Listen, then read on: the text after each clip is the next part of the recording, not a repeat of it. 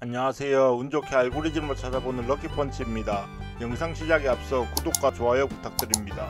실리엄 테리어는 원산지는 영국이며 19세기 중후반에 실리엄에 사는 에드워드라는 사람이 오솔이나 족제비 등 굴을 파고 생활하는 야생동물을 굴 안에 들어가서 직접 사냥할 수 있을 만큼 작은 체형을 가지고 있으면서 야생동물들에게 겁먹지 않고 용감하게 사냥할 수 있고 물가에서 사냥할 수 있는 사냥개를 만들어 내려고 여러 종류의 테리어의 웰시 코기종을 교배시켰고 덩치에 비해 짖는 소리가 매우 큰 사냥개로 유명했으며 지금은 집 지키는 개로 길러지고 있습니다. 사냥개인 만큼 몸집은 작으나 행동이 매우 빠르며 날카롭고 주의를 잘 경계합니다. 힘이 세고 판단력이 뛰어나며 사냥이 시작되면 한 가지의 목적을 위해 짙을 줄 모르고 일을 해냈었습니다.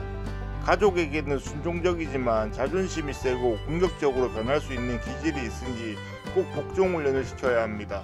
하지만 훈련을 시키는 게 조금 어려울 수 있다고 합니다.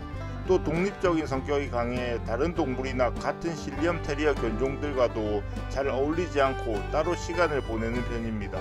털은 대체로 흰색이고 머리와 귀에는 레몬색, 한갈색 등의 반점이 있습니다. 크기는 25에서 28cm, 체중은 8에서 9kg입니다. 실리엄 테리어를 키우기 전에 알아두어야 할 점으로는 새끼 때부터 복종 훈련을 통해서 서열을 자 바로 잡아주는 게 좋습니다. 실리엄 테리어에 대해서 마치며 재밌게 보셨다면 구독과 좋아요 부탁드립니다. 감사합니다.